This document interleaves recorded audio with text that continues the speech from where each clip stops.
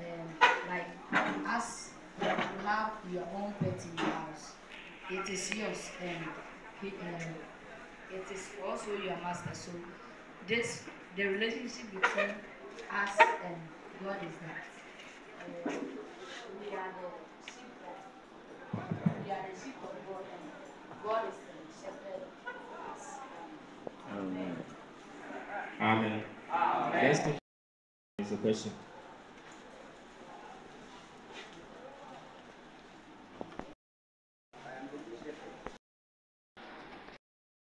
I hope everyone heard it.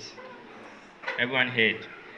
So the question is, what does Jesus say about himself as the good shepherd?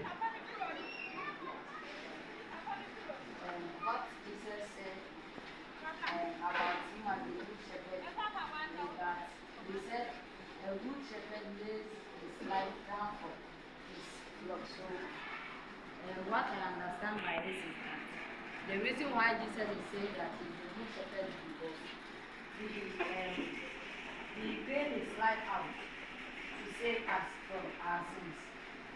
So with this um, um, there is full evidence that God is the